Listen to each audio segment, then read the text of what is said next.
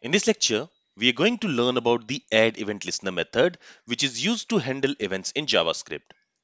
Using this method, we can handle DOM events, browser events, keyboard events, etc. So in the previous lectures, we have already learned about the inline event handler and event handler properties. Now in this lecture, let's also learn about handling events using add event listener method. And let's understand it with a very simple example. So what I want is, here we have this header and we are displaying this header using this header tag in HTML. So what we want is when we hover over this header, its color should change to black.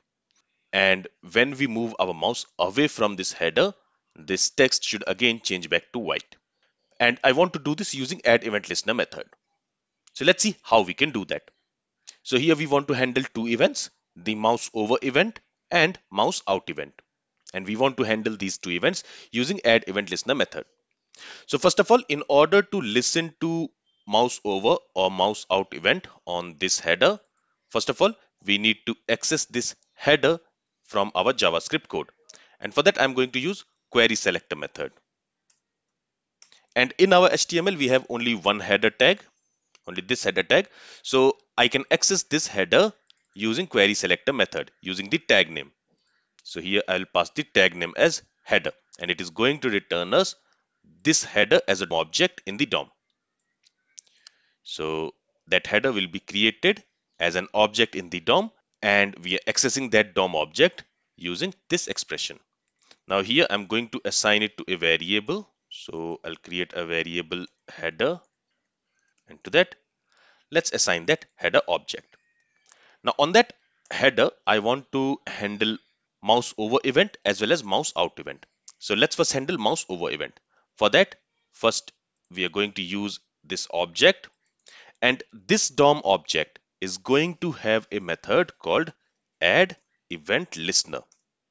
And this add event listener method, it is available on all DOM objects. Here we are accessing it on the header object, but this add event listener method, it will be available on all the DOM objects. And what this add event listener method does is it listens to an event on the DOM object on which we are calling it. And whenever that event happens, it executes a method.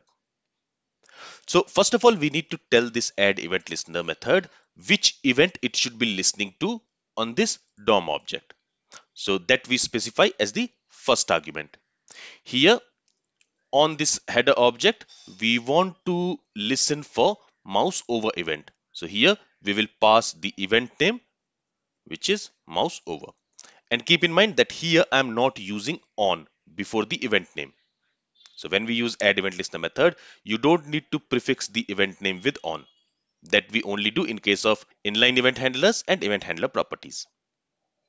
So this will be the first argument of this add event listener method. The second argument will be a callback function which gets executed every time this event will happen on the DOM object. In this example, every time when this mouse over event will happen on this header, this callback function which we are going to pass as the second argument, it will be executed. And here for the callback function, again, I'm going to pass an anonymous function because this function we only want to execute whenever the mouse over event will happen on this header DOM object. And what do we want to do here? Whenever we hover over this header, we want to change the color to black. So for that, I can say header and on that, I'm going to access style and this style, this is again going to be an object where we will have different CSS styles. So here I want to change the text color. For that I can use the color property of that style object. And we are going to change the color to black. So let's save the changes and let's see if the color is changing. So as you can see, as soon as I move my mouse on this header, the color has changed to black. But when I move my mouse away, the color is not changing back to white because when I'm moving my mouse away, the mouse out event is happening. And when the mouse out event is happening, at that time, we want to change the color back to white. So on this header, I'm also going to listen for on mouse out event. And for that, again, I'm going to use add event listener method. So here for the first argument, we need to specify the event name which we want to listen to. Here the event name will be mouse out. Okay, and when the mouse out event will happen, we want to execute this callback function. And inside this callback function, we are going to change the text color to white. Let's save the changes. And now when I move my mouse on this header, the color has changed to black and when I move my mouse away the color has changed to white. So this is how we can also use add event listener method to listen to an event and then handle that event by executing a callback function. Okay, so we learned about three ways of handling events in JavaScript. The inline event handler, the event handler properties, and by using this add event listener method. Now, the next very big question is when to use one over the other. That let's try to understand in our next lecture. This is all from this lecture. If you have any questions, then feel free to ask it. Thank you for listening and have a great day.